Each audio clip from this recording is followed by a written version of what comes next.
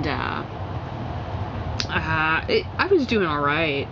But then HDR started to die down. Like, not just die down. We went.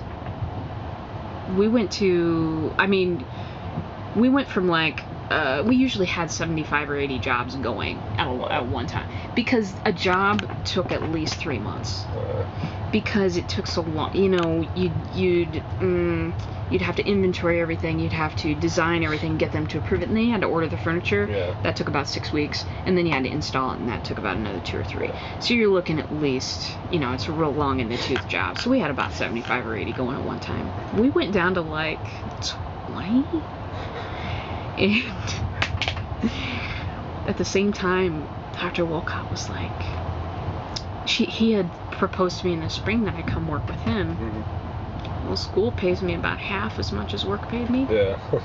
And so at the time, I giggled and I'm like, Dr. Wolcott, I just don't know if I could uh, Swing that. swing that. And uh, and then we were meeting for something else in the summertime, and I had realized that HDR was going right through the floor, and uh, and that I was maybe dumb to have turned him down because I have such a kind of a specific talent that I need experience. I Mhm. need field experience. Mhm. And um, I wasn't going to be getting it drawing furniture all day. And uh, so we were meeting about something else, and he brings this fact up that they got this grant that they had been applying for, and it still had my name on it. And, you know, would I be interested? And I'm like, you know what? I really would be interested in that. but he's the one that convinced me to go into MIS because I didn't think I Oh. had the smarts to make it. yeah. I would sit in the I would sit in the computer classes and I would think, what the fuck are they talking about? Yeah. I don't know what they're talking about. I don't even have a frame of reference. I don't even I couldn't even I mean, fuck. Uh so I was really scared to do that. I was really scared to commit. That's kind of how I was my first database class. Is like, uh, what the fuck am I talking about? What is this? I mean, Yeah, it was a completely new experience. It's like, uh, okay,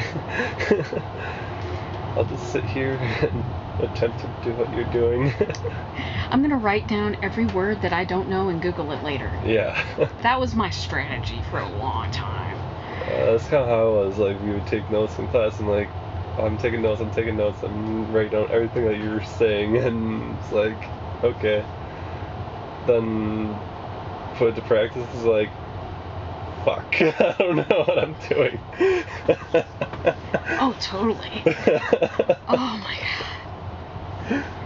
We totally uh, in Omaha we we study buddy everything. I mean we. All right, when are we doing this homework together? Is Yeah. uh, you know. We kind of do the same in Eau Claire. Okay. Um, well, especially with like accounting, like our accounting classes. There's, I don't think anyone does that class by themselves. Yeah, at least for my first two accounting classes, I had the same. And my friend, we were in the same class for both co- for both classes. And we're like, time to do this homework at. Mhm. Well, we were in, on the track team for the first class, so together. So I was like, let's practice accounting homework. Let's get it done. Yeah, baby. and I mean, it worked out really well that way. Um, and then the second semester, he had a different professor for it, but uh, it was the same homework. So we're like, hey, let's get this done. Well, and I felt I felt bad about that for the longest time because I'm like, oh, what if I was in a real situation? Am I gonna have the confidence to, you know, get that done? But I think a lot of it is in the real world. I mean, they're going to ask you, yeah, get this done, but you always have your resources. I mean, you have your have people around you if you need help, if they have time.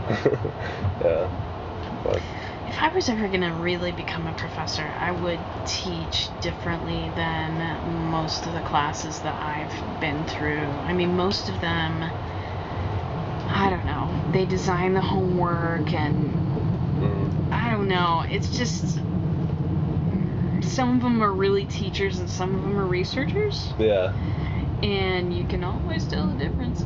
Um, but uh, but yeah, I mean, I would design it much more around the way human beings learn than the way that it has always been done because I think the way that it has always been done. I mean, like, can you even remember half of the shit we went through in Braunschweig?